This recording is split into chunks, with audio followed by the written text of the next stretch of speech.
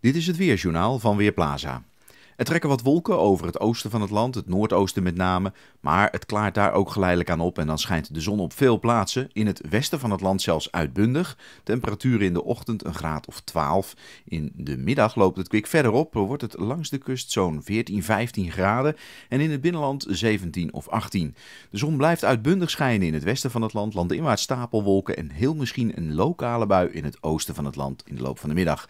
Een matige wind uit een westelijke richting ook vanavond en dan winnen de opklaringen weer terrein en is het grotendeels droog. Morgen een droge dag met eerst in het zuidoosten de zon, dan wat wolkenvelden vanuit het noordwesten en later de zon er weer bij. Droge dag dus en ook vrij hoge temperaturen. Zo tussen de 17 en lokaal 20 graden in het binnenland. In het binnenland staat weinig of geen wind. Zaterdag dan in de ochtend tijdelijk meer bewolking. Misschien zelfs een spatje regen. In de middag komt de zon er van het noorden weer bij. Maar de wind draait naar het noorden. Betekent ook dat er wat frissere lucht het land instroomt. Zondag, laat op de dag misschien een bui, maar grotendeels blijft het droog. Maandag is de kans op neerslag wel wat groter. Ik ben Marco Verhoef van Weerplaza.nl